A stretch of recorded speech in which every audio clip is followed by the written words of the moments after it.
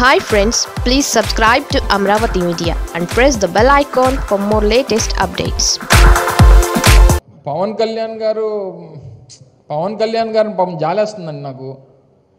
పవన్ కళ్యాణ్ గారు డబ్బా పెరుగన్నం తిన్నారు ఇదే ప్రాంతంలో వచ్చి. ఆ రోజు రైతులు ఉద్యమం చేసినప్పుడు డబ్బాడు పెరుగన్నం తిన్నారు.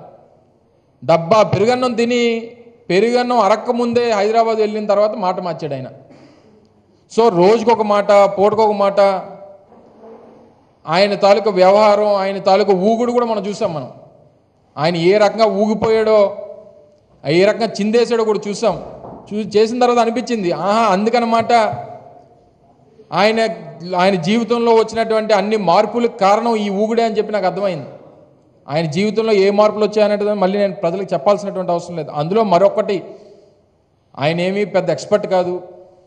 లేకపోతే ఒక ఎకనామిక్ ఎక్స్పర్ట్ కానీ లేకపోతే ఒక టౌన్ ప్లానింగ్ ఎక్స్పర్ట్ కానీ లేకపోతే రాజధానుల మీద ఏదైతే కన్సల్టెంట్ చేసి అభిప్రాయాలు చెప్పేటువంటి ఎక్స్పర్ట్ కాదు. ఏమనంటే టెన్త్ క్లాస్ ఇంటర్మీడియట్ ఫెయిల్ అని చెప్పినటువంటి వ్యక్తి ఈరోజు రాజధాని ప్రాంతాల గురించి ప్రతిపాదనల గురించి మాట్లాడేటువంటి ఎక్స్పర్ట్ అని నేను అనుకోవట్లేదు. ఆయన ఎందులో ఎక్స్పర్టో అందరికీ తెలుసు. పవన్ కళ్యాణ్ అనేటువంటి వ్యక్తి ఏ ఏ విభాగంలో ఎక్స్పర్టో ప్రజలందరికీ తెలుసు. మళ్ళీ నా నోటితో చెప్పించకండి.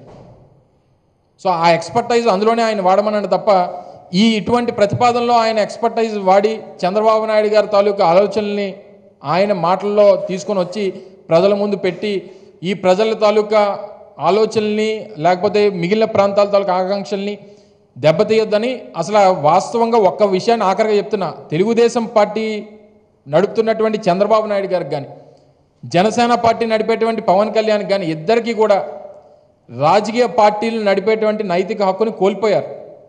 ఎందుకంటే కేవలం ఒక ప్రాంతం కోసం ఒక ప్రాంతంలో ఉన్నటువంటి వారి ప్రయోజనాల కోసం వారి భూములు కాపాడుకోవడం కోసం చేస్తున్నటువంటి పోరాటాలే తప్ప వారు రాష్ట్రంలో ఉన్నటువంటి పదమూడు జిల్లాలు ఐదు కోట్ల మంది ప్రజల కోసం ఆలోచించేటువంటి పరిస్థితిలో వారు లేరు అనేటువంటిది మరొకసారి గట్టిగా తెలియజేస్తూ ఉన్నాం.